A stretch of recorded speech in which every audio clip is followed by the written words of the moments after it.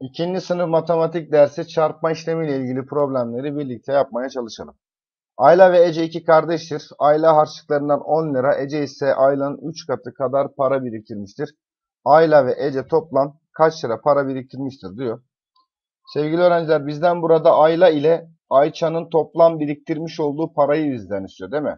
Şimdi burada belli olan nedir mesela? Ayla harçlıklarından 10 TL biriktiriyor. 10 lira biriktiriyor ama Ayça'nınki belli değil. Ayça için de Ece ise Ayla'nın 3 katı kadar para birikmiştir. Yani Ayla 10 lira para biriktirirken 10 liranın 3 katını nasıl bulurum? Çarpmayla bulabilirim. 3 kere 0 0, 3 kere 1 3 eder değil mi? Demek ki Ayça 30 lira para biriktirmiş. Soru sonu önemli burada. Bakın seçeneklerde de var ama benden şunu istiyor. Ayla ve Ece toplam kaç lira para biriktirmiş? Birisi 10 lira, birisi 30 lira. İkisinin toplam biriktirdiği para 30 artı 10'dan 40 liradır. Doğru yanıtım A seçeneği.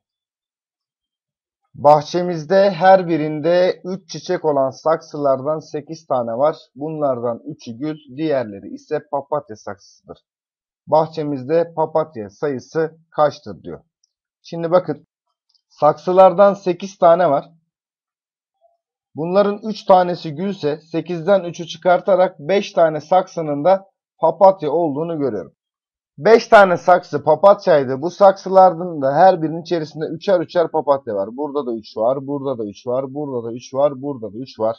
Artık ard arda aynı sayılarla yapılan toplama işlemlerini kısa yoldan çarpma işlemiyle yapabilirim. Kaç tane 3 var orada? 5 tane 3 var. 5 ile 3'ü çarparak direkt papatya sayısını bulacağım.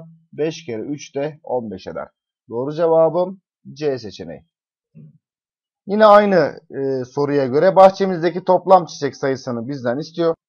Bahçemizde her birinde 3 tane çiçek olan 8 tane saksı varsa baktığım zaman burada 8 tane 3'ün olduğunu görüyorum. 8 çarpı 3'ü bulacağım sevgili öğrencim. Eğer e, ezbere bilmiyorsan bunu ritmik sayarak da yapabilirsin. Bakın 3, 6, 9, 12, 15, 18, 21 ve 24. 8 tane 3 burada 24 eder. Doğru cevabım A seçeneğidir. Bir kasada 9 şişe vardır. Günde 5 kasa süt satan bakkal kaç şişe süt satmış olur diyor. Her bir kasada 9 şişe süt vardır sevgili öğrencilerim. 5 tane kasayı benden istiyor. Baktığım zaman burada 9 ile 5'in çarpımını yapmam gerekiyor değil mi? Top, e, çarpma işlemi kısa yoldan aynı sayılarla toplanan sayıların kısa yoldan çarpılışıydı. 9 kere 5 de 45 eder. Doğru yanıtım B seçeneği.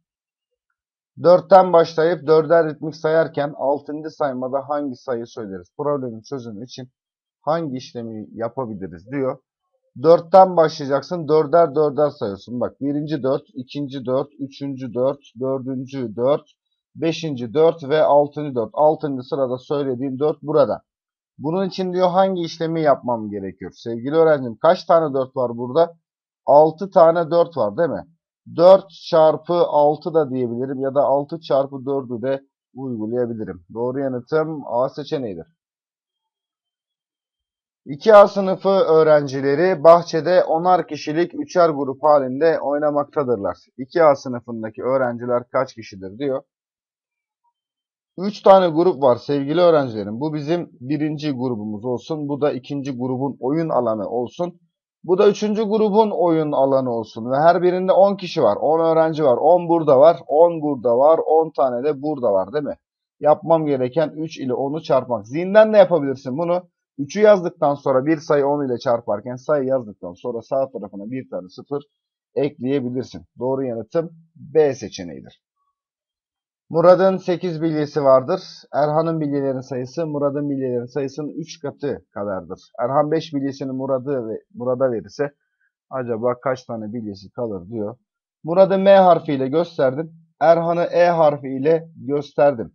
Murad'ın bilyelerinin 8 tane olduğunu biliyorum. Diyor ki Erhan'ın bilyelerin sayısı Murad'ın bilyelerin sayısının 3 katı kadardır. O zaman e, Murad'ın 8 tane bilyesi varsa 3 ile çarpacağım. Erhan'ın bilyelerini bulacağım.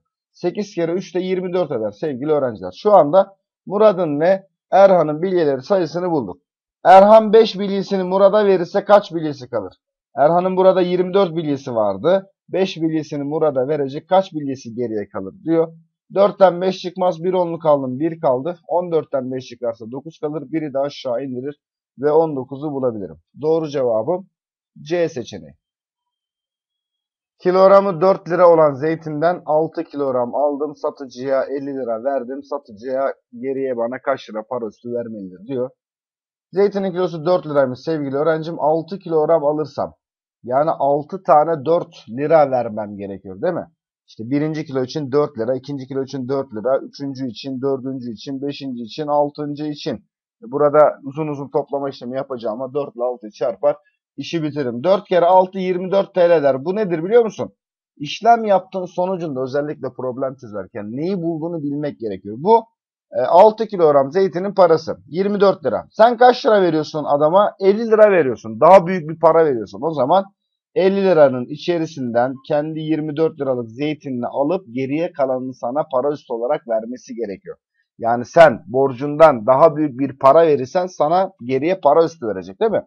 Sıfırdan 4 çıkmaz. 10'lu kaldım. 4 kaldı burada. 10'dan 4 çıkarsa 6 kalır. 4'ten 2 çıkarsa 2 kalır. 26. Doğru yanıtım B seçeneğidir. Bir diğer sorumuz her gün 9 sayfa kitap okuyan Nurhan'ın 5. gün sonunda okunacak 12 sayfası kalmıştır. Tahtada verilenlere göre aşağıdakilerden hangisi yanlıştır diyor. Şimdi her gün 9 sayfa okuyoruz. Birinci gün 9, ikinci gün, üçüncü gün, dördüncü gün ve beşinci gün. 5 tane 9 var değil mi burada? Çarpma işlemiyle yapacak olursam bunu 9 kere 5'ten Nurhan 5 günün sonunda 45 sayfa okumuştur. A seçeneği doğrudur. C'ye bakalım sevgili öğrencilerim. Nurhan günde 2 sayfa daha az okusaydı.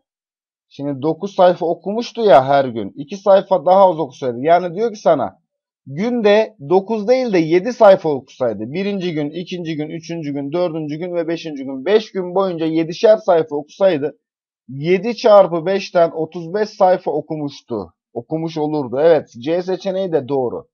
B seçeneği yalnız sevgili öğrencim. Neden yanlış? Çünkü 5 günün sonunda 45 sayfa okuyor. Nurhan'ın kitabı 55 sayfadır diyor.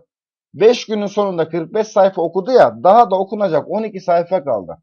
45 sayfa üzerine de 12 sayfayı ekleyip oradaki kitabın sayfa sayısını bulabilirim. 5 2 daha 7 eder, 4 1 daha 5 eder. 57 sayfa olması gerekirken bakın B seçeneğinde 55 sayfadır diyor. Doğru cevabım yani yanlış olan seçenek B seçeneğidir. Bir kasada her birinde 4 litre süt bulunan 9 şişe vardır. Kasadaki süt kaç litredir diyor. 9 şişe vardır diyor. Her birinde 4'er litre. Bakın burası 4 litre, burası 4 litre. Bu şişelerin hepsi 4'er litre. 9 şişenin hepsi 4'er litre. Burada 9 tane 4 var sevgili öğrencim. 9 çarpı 4'ten kasadaki sütün kaç litre olduğunu bulabilirim. 9 kere 4 de 36 eder. Doğru yanıtım C seçeneğidir. Babasının yaşı Nilgün'ün yaşının 4 katının 3 fazlasıdır. Nilgün 8 yaşında olduğuna göre babasının yaşı kaçtır diyor. Nilgün'ü N harfiyle babasını da B harfiyle gösterdik. Nilgün'ün yaşı 8 diyor ki babasının yaşı Nilgün'ün yaşının 4 katının 3 fazlasıdır. Burada dikkat et 2 adımlı bir sorudur bu. Hani Nilgün 8 yaşında ya. 8'in 4 katını 8 ile 4'ü çarparak bulurum. Ne eder? 32 eder. Bitmedi. 3 de fazlasıdır diyor. 32 eder de 3 de fazlasıdır. 32 ile hemen 3'ü topluyorum. 3 2 daha 5 eder. 3'ü de aşağı indirir. 35'i bulurum. Doğru yanıtım A seçeneğidir. Nihal içinde beşer çikolata bulunan paketlerden 6 paket aldı. Nihal'ın aldığı çikolatalar kaç tanedir diyor. Her bir çikolatanın içerisinde beşer tane çikolata varmış. Burada 5 tane var, burada da 5 tane var, burada da 5 tane. Buralarda hep beşer tane çikolata var değil mi? Burada kaç tane 5 var sevgili öğrencim? 6 tane 5 var. Bakın tane kelimesi çarpma işleminde çok önemlidir biliyor musun? Tane kelimesi ve her kelimesi çarpmaya işarettir. Çikolataların her birinde beşer tane var. 6 tane 5 var. 6 tane 5'i bulduktan sonra zaten tane yerine çarpıyı da koyabilirsin. 6 kere 5 de 30 eder. Doğru yanıtım A seçeneğidir. 3 katı 21 olan sayının 8 katı kaçtır? İki durumda yapmamız gerekiyor. Sayının diyor öncelikle sayıyı bulmamız gerekiyor sevgili öğrencilerim burada. Bu sayıya yıldız diyelim. Bakın birinci yıldızımız, İkinci yıldızımız 3 katı diyor ya 3 tane yıldız yapmam gerekiyor buraya. Bu da bizim 3. yıldızımız olsun. Bu sayıların 3 tanesi 21'miş sevgili öğrencilerim. Bakın şöyle de yapabiliriz ya da 21 de diyebiliriz. Ya da yıldızla burada 3'ü çarpınca da hani ha 3 tane yıldızı e, toplayarak gösteriyoruz ya yıldızla da 3'ü çarpınca 21'i buluyoruz. İkisi aynı şey aslında.